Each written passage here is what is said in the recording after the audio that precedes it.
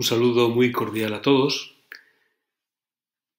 En este día en el que en el Centro Nacional Salesiano de Pastoral Juvenil queremos celebrar la fiesta de Don Bosco, invito a todos a un momento de serenidad, de oración, de encuentro con el Señor, dando gracias por Don Bosco, dando gracias por su obra, por su carisma, por su herencia, que nos hace a todos nosotros también signos y portadores del amor de Dios a los jóvenes. Un momento para encontrarnos con el Señor, para pedirle también que nos ayude a vivir como don Bosco, que nos ayude a ser también presencia suya, signo de misericordia y ternura en medio de los más necesitados. Comenzamos nuestra plegaria y lo hacemos en el nombre del Padre y del Hijo y del Espíritu Santo. Amén. Dispongamos el corazón. Hemos venido aquí para estar junto al Señor unos momentos, abrir nuestro corazón y escuchar su palabra.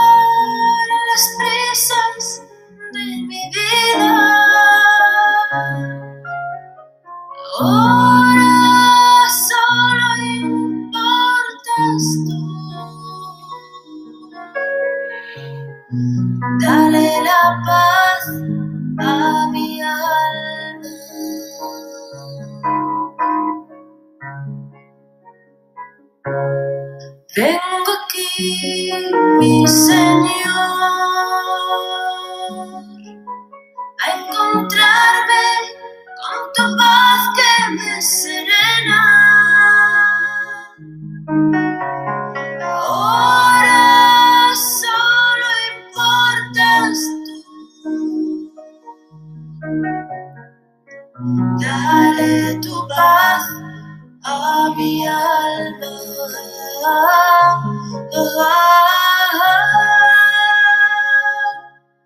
Vengo aquí, mi Señor, a encontrar.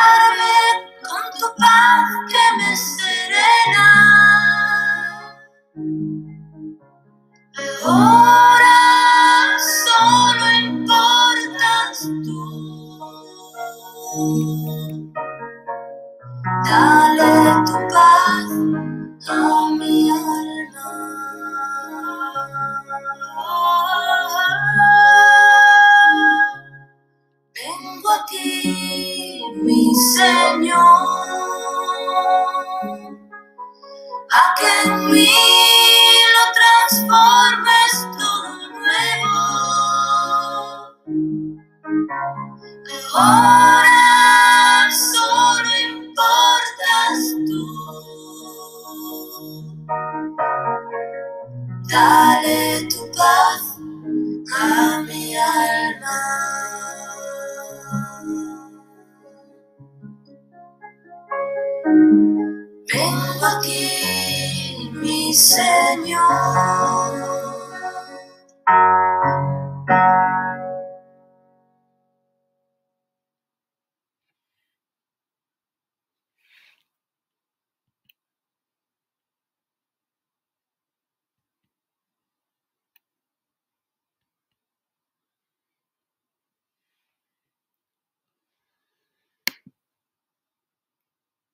Vamos a acoger la palabra de Dios como la tierra acoge el agua de la lluvia y la fecunda y hace brotar la semilla. Dejemos que la palabra en el día de hoy caiga en la buena tierra de nuestra vida.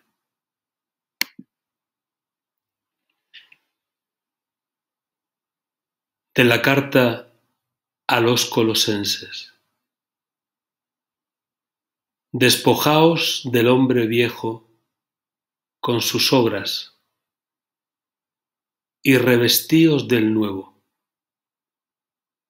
que se va renovando como la imagen de su creador hasta llegar a conocerlo. Como elegidos que sois de Dios, santos y amados, vestíos de la misericordia entrañable, bondad, humildad, dulzura, comprensión. Sobrellevaos mutuamente y perdonaos cuando alguno tenga quejas contra otro. El Señor os ha perdonado. Haced vosotros lo mismo. Palabra de Dios.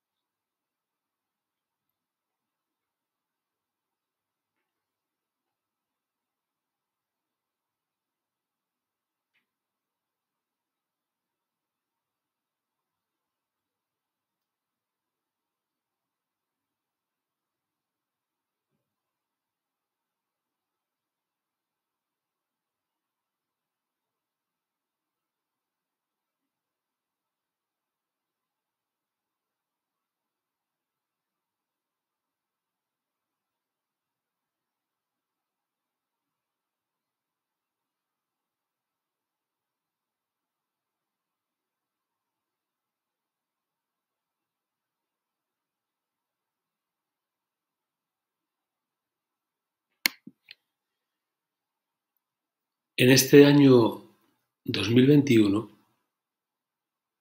el rector mayor nos ha invitado a cultivar la esperanza en un momento complicado como el que vivimos, ser signos de esperanza a nuestro alrededor, confiando en que una realidad nueva puede brotar con el esfuerzo de todos y con la ayuda y la luz del Espíritu. Evocando a don Bosco en el día de hoy, encontramos también motivos para la esperanza y para ser signos de luz para los jóvenes a los que somos enviados. Escuchamos atentamente la palabra del rector mayor. Hay un momento en la historia del oratorio que no se puede dejar de recordar porque está tan cerca de la dificultad global en la que todos nos encontramos inmersos con la pandemia. Estamos a finales de julio de 1854. Estalla el cólera en Turín. Conocemos la historia y no es necesaria presentarla aquí. La visión de la fe y la práctica de la caridad, incluso de manera heroica, no son una virtud privada característica solo de don Bosco o de unos pocos súper generosos. Es el estilo de vida de esa pequeña comunidad educativa. La esperanza es virtud de la comunidad que se alimenta con el ejemplo mutuo y a través de la fuerza de la comunión fraterna. Esto también nos atestigua el oratorio de Baldocco durante el cólera, como la, como la experiencia de muchas comunidades educativas y pastorales en tiempos del COVID, que han tenido en primera línea a médicos, enfermeros y personal sanitario que han dado y siguen dando la propia vida para salvar la de los demás. Momentos de crisis como este sacan a relucir otro aspecto de la esperanza, como la vivió don Bosco. Creía firmemente en la providencia, una fe confiada, que se hace cada vez más grande con los años. Es como un hilo conductor que recorre toda su existencia y todo aquello a lo que ha dado vida. Es, quizás, la forma más tangible en la que uno puede contemplar realizada en él una espléndida armonía de naturaleza y de gracia. Lo que su corazón cree pone en movimiento los pasos y las opciones de cada día, abriendo caminos de esperanza para muchos, incluso donde parece que no hay más salidas.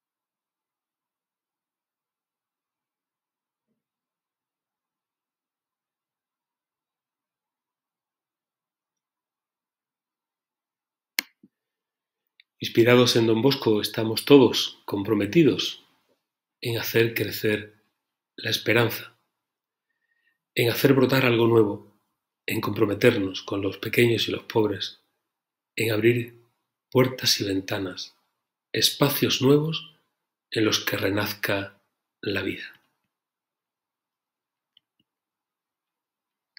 Queremos concluir este momento de oración, todos juntos cada uno desde nuestra casa, pero unidos en un espíritu común, dando gracias a Dios por don Bosco y comprometiéndonos aún más con él.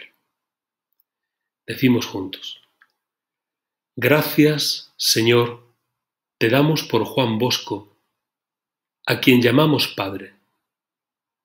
Tú le diste un corazón inmenso como el mar, desbordante de paz y alegría. Como pastor, Él siempre va delante y sabe hacerse amigo y nos protege. Y si hay espinas en nuestro camino, Él nos señala el cielo y las estrellas. Nos dio en herencia la sabiduría de la fe, la razón y la bondad. Y Él es la casa siempre abierta, donde caben todos los jóvenes del mundo. Su nombre es un mensaje de tu amor a los jóvenes, luz de tu sonrisa, palabra de esperanza que sembramos con fe en el surco abierto de la historia. Gracias, Señor, te damos por Juan Bosco, que su espíritu ardiente en nuestro espíritu y que un día podamos a su lado cantar tus alabanzas en el cielo. Amén. María, auxiliadora de los cristianos, ruega por nosotros. San Juan Bosco, ruega por nosotros. En el nombre del Padre, y del Hijo, y del Espíritu Santo. Amén.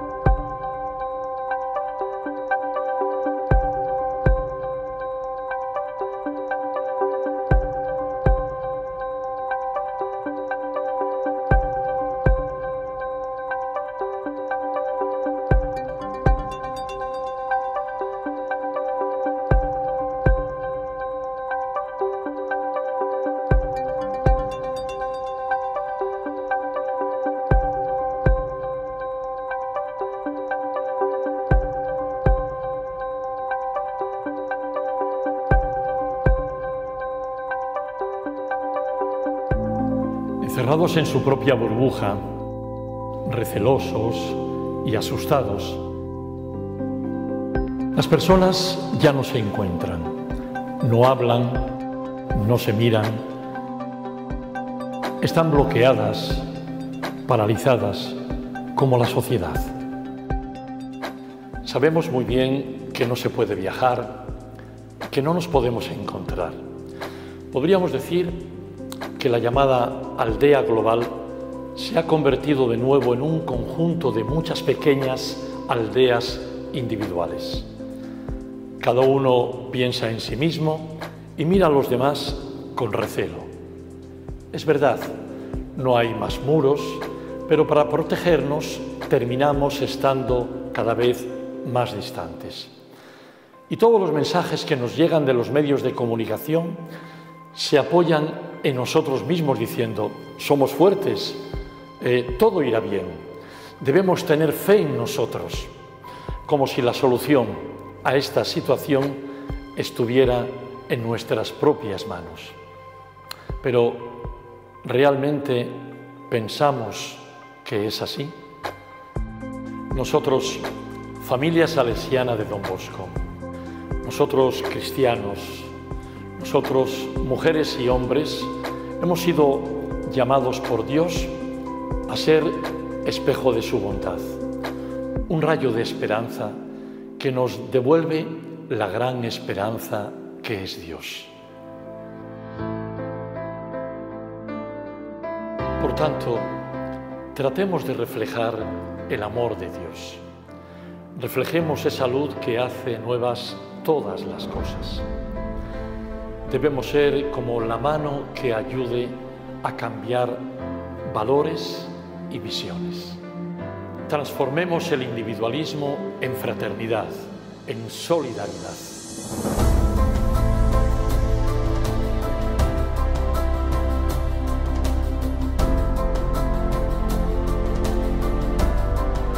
Não sei em quantas casas eu fui, nem quantas coisas eu levei. O que sei é que nunca tinha me acontecido algo assim. Como sempre, dou comida aos sem-tetos, mas desta vez eu levava comigo coisas que também uso em casa. E o problema não estava no fator econômico, estava na limitação da liberdade. Aquela pessoa não podia caminhar, não podia sair, devia enfrentar tudo sozinha. Mas naqueles dois minutos esteve menos só. Por um momento, esteve só. It is strange to be next to, to be present, without being able to be with. I could not enter, I could only carry. Once I asked for their name, another time if everything was okay. An everyday life never seen even by me, a whole new routine. Where you see a difficulty, you have to go. But if you have never seen that difficulty either, how do you face, deal with it?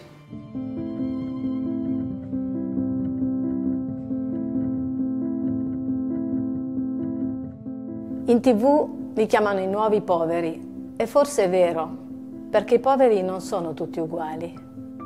Tutti hanno fame però, ma anche la fame è diversa. Può essere fame di pane o di cultura, oppure fame di autonomia, di dignità, di integrazione. Tutti hanno bisogno di spazi e di persone amiche. C'è chi è nato povero e chi si è abituato ad esserlo chi è diventato povero dall'oggi al domani e chi lo è diventato nel tempo perché perennemente derubato. C'è chi lo è ma non lo accetta. Non è sempre facile avvicinarli, ognuno è diverso. Da noi hanno trovato una famiglia, abbiamo provato ad accoglierli, accompagnarli e promuoverli, facendoli diventare i nostri maestri. Una famiglia che non dorme la notte pensando a come fare, a cosa inventare, per dar loro da mangiare anche domani il pane di cui hanno bisogno.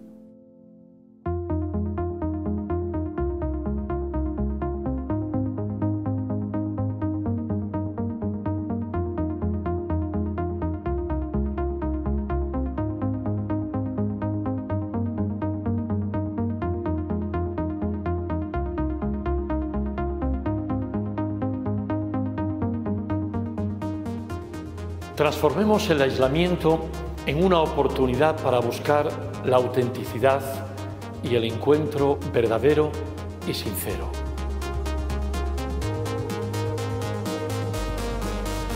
No lo pensaba, aunque sé que ocupamos las redes sociales para comunicarnos, pero hablar con los jóvenes, mantener con el contacto con ellos, eh, es muy difícil.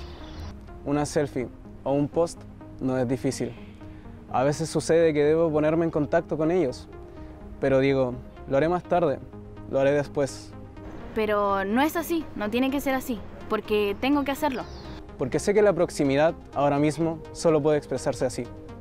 Nada más comenzar el confinamiento, me puse en contacto con las personas con las que ya tenía abierto un proceso terapéutico para continuar nuestras sesiones por videollamada.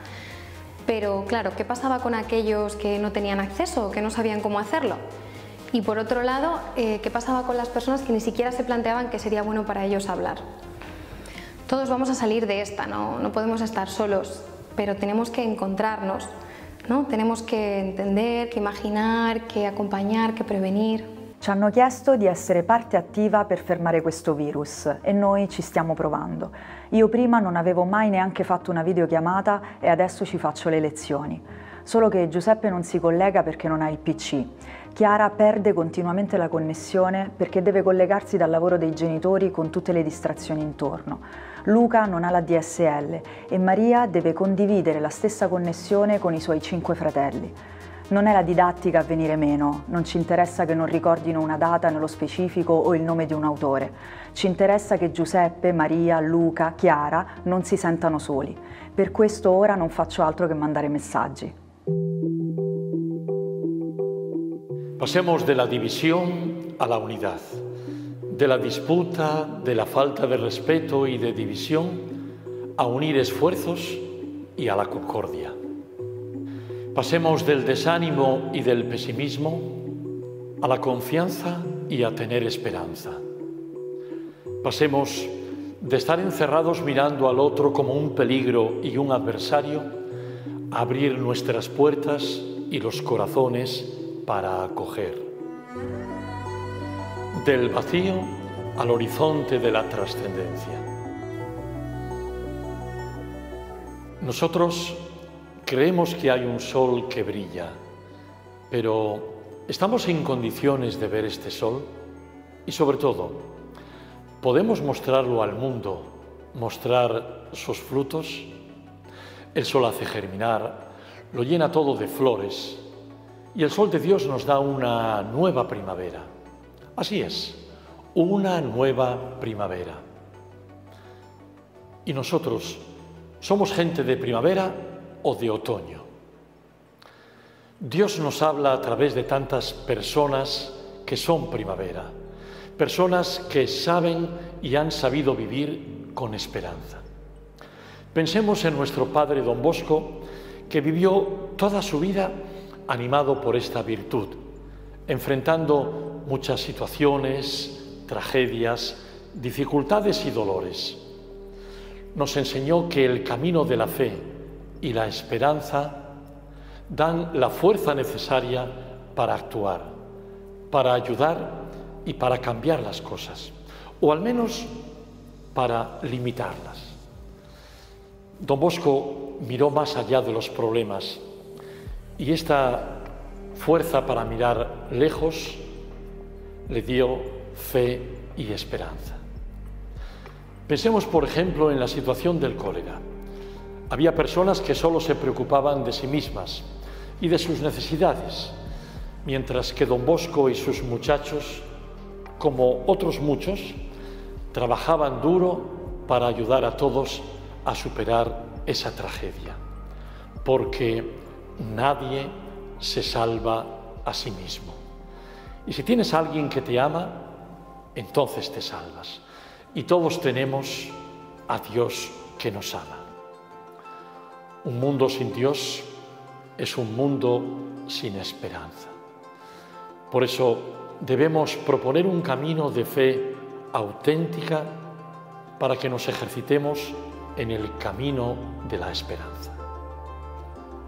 Aquí, entrenémonos para la esperanza, porque sabemos y sentimos que Dios está con nosotros. Descubramos la esperanza en la oración, donde nos encontramos con Jesús. Esta oración que es escucha y encuentro con Dios. Esta oración que tiene el poder de transformarnos, de abrirnos la mente y el corazón y que nos hace sentir que nunca estamos solos. Busquémosla en la actividad, en el cansancio, en la vida cotidiana, porque estos son los lugares donde se aprende a tener esperanza. Después de todo, cuando un ser humano se moviliza intentando transformar una situación, lo que hace no es solo esperar, sino mirar con confianza y con esperanza, soñando ver el fruto de sus esfuerzos. Descubrámosla en el sufrimiento y en el dolor. Son realidades que muchas veces, en vez de desanimarnos, nos permiten abrirnos a la esperanza. No se puede seguir estando divididos, tenemos que ayudarnos. Moramo uvijek razmišljati o onima kojima je gore nego nama. È difficile andare come vuole Dio. Man bavar daram che avval ohar tamam mishe. Mettiamoci nei panni degli altri e aiutiamoci tutti. Io non ho niente. Affidiamoci a Maria, lei saprà cosa fare. All insecure in continuous precarious balance. Nessuno si salva da solo, siamo tutti importanti. En las crisis más grandes desaparecerán tantas cosas, tantas seguridades que creíamos tener. Pero los grandes valores del Evangelio no desaparecerán. Por esto, como familia salesiana de Don Bosco, tenemos que seguir dando respuestas evangélicas durante nuestra vida y en toda la vida de la humanidad. El día en el que todo esto termine, será bonito descubrir que nada se ha perdido. Ninguna sonrisa, ninguna lágrima, ningún esfuerzo, ninguna oración. Y cuando Dios pronuncie su última palabra de bendición, he aquí que yo hago nuevas todas las cosas, nosotros lloraremos, sí, pero lloraremos de emoción, porque hemos tenido confianza, porque en las dificultades y en las crisis hemos puesto en Él nuestra esperanza.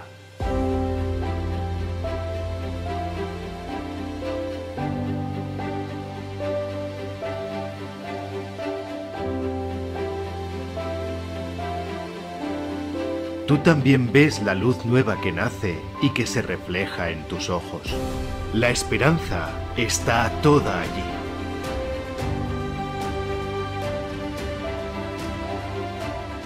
Iluminemos juntos este mundo.